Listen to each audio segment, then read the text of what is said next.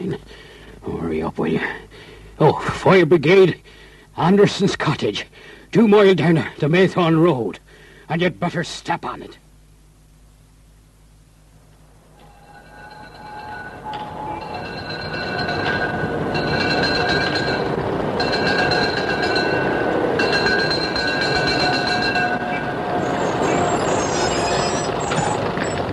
Come on to number one house now. Come on, get out there. Pretty fierce this end of it. Oh, lucky there's no wind. The way it's going, looks as if they had paraffin there.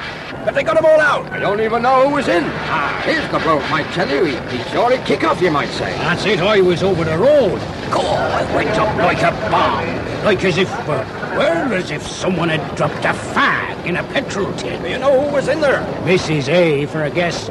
She never went out nor away. Kept herself to herself, as they say. Too mean to mix, if you ask me. Hey, hey, watch it, John. All you know, she could still be in there now. Ah, well, I won't say good riddance, though my missus couldn't abide her. What I will say is, rather her than him. Er, You mean he's a, away or something? That's what he told us in the Chequers last week. Said he was off to London Tuesday last. Some sort of meeting, he said. Keep the pressure up there. We're getting it under control. It's only this end of it anyway. Well, anyone... No, there's no one in the other two rooms, and no one got out. Your chap here says Mrs. Anderson should have been there. He reckons Mr. A's in London. Well, if she was, she hadn't an hope unless she got out before it started. Even the foam didn't start enacting for ten minutes or so. So, what happens next? So they sift the ashes when they cool down. That's the police's picture. Try the bit over there again, near what's left of that stove. Okay, Sarge. Right, six hours since, and this lot's still burning my boots. Wait a minute. This looks like something. Hold it. All right. That could be her, or... All right, what, what's left of her. Funny how dentures seem kind of indestructible, you might say. I know it turns you up a bit. Me, too. Now what do we do? You get on the blah to headquarters. There's a call box just down the road. Get 'em to send the experts along. After they've done their stuff, uh, we two better stick around. What's the idea? Oh, from what that fella said, Anderson was expected back this morning. Suppose he comes straight here. I should ought to be someone here to break the news. What time do you reckon he'll get here? Any time now, isn't a train from town at four eight, and she's a stopper. Any reason we know why he was up in town? What made you ask that? I don't know exactly. Just I've heard one or two things. Such as? Come on, me lad, out with it. Seems someone once brought it out in the Chequers. They'd seen Anderson in one of those dives with some blonde bit, who certainly wasn't his wife. That all. Well, I mean, he's got to be careful, him being a bank manager and all. So happens his bank likes his managers to pop up to town for what they call a refresher course once a year. He left on Tuesday in the regular way, and for weeks, it seems, half the village knew he was going. And today's Friday. Bit of luck for him. You could call it that. Funny, when you think of it. There being nobody in the house except her. Well, she was like that by all accounts. Wouldn't have anybody in. Strong-minded soul altogether. Ah, there's that tag about not speaking ill of the dead, but I've always heard she lived pretty close to the bone. They say she even cut him off smoking, 'cause she was paying for some piece of junk on the Never Never. Nor I don't suppose he could shake her, his job being here. Not to mention what her lawyer might have dug up in the way of blondes. We got onto his bank about his insurance. He kept his policy there. Home and contents. None on her. Fire chaps any idea yet how it started? Not yet. Doubt if they ever will. She never smoked herself. I can't imagine her being careless with matches. Ah, well. Always have said electricity and old beans don't mix.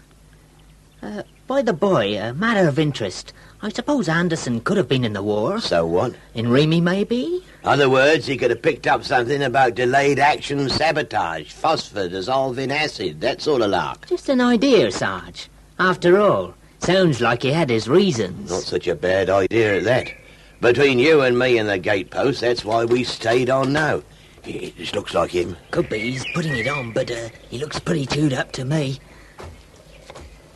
Is. Is. Ah, Is she? I'm afraid she is, sir. I'm very sorry. I told her. I was always telling her. Told her what, sir? My wife had One could almost call it a mania for hoarding things which anyone else would have thrown away. You mean inflammable sort of stuff? The cellar immediately below our bedroom was, was literally stacked to the ceiling with combustibles. Cardboard boxes filled with shavings and stacks feet high of papers and magazines, piles of old records, pots half full of paint, blackout curtains, broken furniture. Oh, that doesn't sound too good. Anything in the way of petrol or paraffin? I, I rather think there were a couple of half-full tins of kerosene. Sounds like as if one fault in the wiring would send that lot up. Maybe that's why it didn't spread. But it wasn't a cigarette end, anyway. We neither of us smoked. Tell me, Mr. Anderson, was your wife a heavy sleeper? Very heavy. In fact, until June, she insisted on sleeping with the windows shut. Insisted? Well, my wife was rather inclined. Well, let's just say she liked her own way, and it seemed less trouble to humour her. Excuse me asking, did you still share a room? We do. Uh, it did. I I forgot to mention also she was slightly deaf. I see. Uh, you wouldn't know, of course, if she had on an electric fire in the bedroom at any time last night. I, I mean, was it likely? You mean because she had a reputation round here for pinching pennies? Well, there's nothing wrong in not being extravagant. Well, if I know her, she had it on all last night. After all, no one could have called it warm. In other words, she usually did have it on if the night was chilly. She had one bar burning all night until well into April. It was her one extravagance. Look, Mr. Anderson, no use staying here harrowing yourself. There's nothing more you can do. I suppose there isn't now. Why don't you call in at the station? They'll give you a wash and a brush up and a cup of tea. Yes, they'll also, no doubt, want to ask me some questions. Very well. Are you both staying on here? Uh, just for a bit to keep the public away and all that. Uh, see you later, sir. What were you up to, George, while we two were chewing the rag? Just mucking about in the cellar. Find anything? I don't rightly know as yet. You know anything about hedgehogs? Oh, I kept one as a pet once when I was a kid. Why on earth? Remember its habits? Not much, except it'd go anywhere, even burrow under a wall to get at a saucer of milk. What's all this in aid of? I'll show you. Then you tell me if I'm crackers. See this? and what was the stove. Sure, one hedgehog.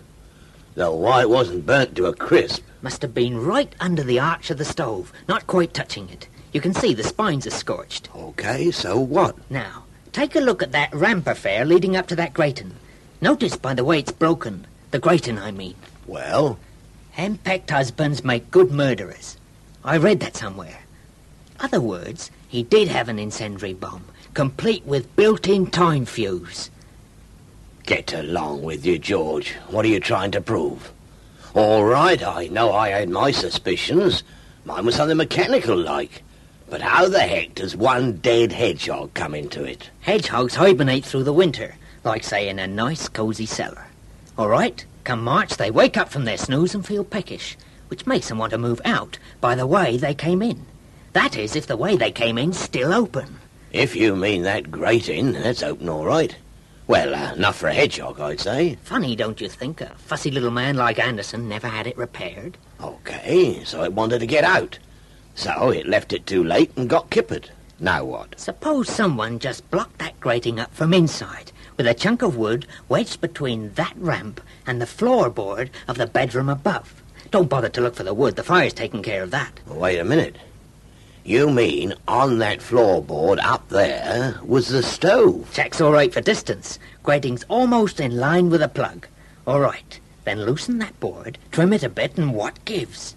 If the support should just happen to slip, down swings one end of the board, stove slides into the cellar, and up she goes.